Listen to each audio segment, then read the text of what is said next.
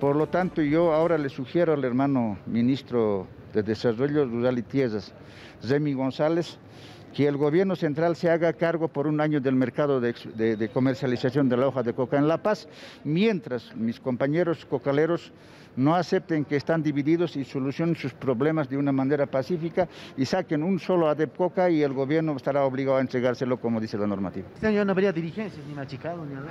No, es dos personajes fracasaron porque no vale la pena ni siquiera mencionarlos a ellos, ellos no han tenido capacidad. Bueno, termina de confirmar lo que ya todos sabíamos, la ambición del gobierno de hacerse cargo del sector de la coca de los yungas, del mercado y por supuesto el por qué no han solucionado este conflicto cuando podían hacerlo desde el principio. Ese afán autoritario de tomar las instalaciones de Adecoca, de someter a su dirigencia, la termina de confirmar este senador que refleja la voluntad de este gobierno.